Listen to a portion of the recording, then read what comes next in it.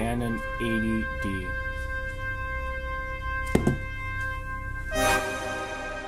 But they sent me the wrong charger and battery.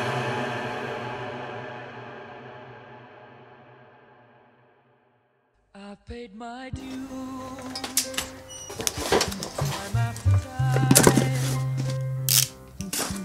Done my sentence, but committed no crime. And bad mistakes. I've made a few.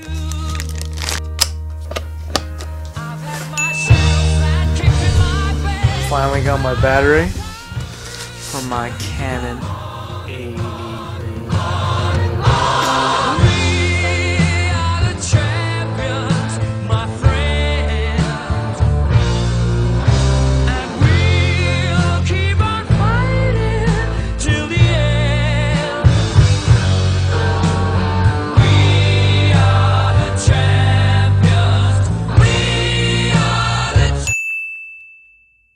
Now, let's start where we left off.